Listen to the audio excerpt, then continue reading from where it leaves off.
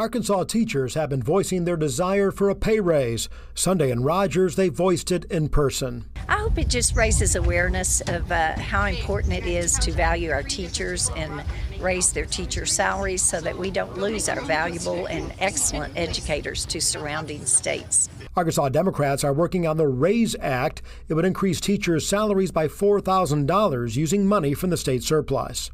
We all know teachers struggle financially, uh, living paycheck to paycheck, as many Arkansans do. So I think many in Arkansas can relate to teacher salaries uh, being a little under what they should be. As of now, the RAISE Act is not on the agenda for the special session, which starts Tuesday. We don't do that during this special session, then for the rest of the school year, we're still going to rank 48th in starting teacher pay.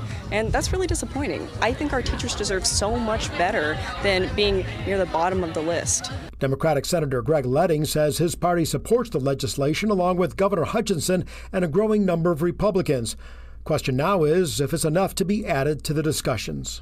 I think we should value our teachers enough that they do not have to have second jobs to make ends meet.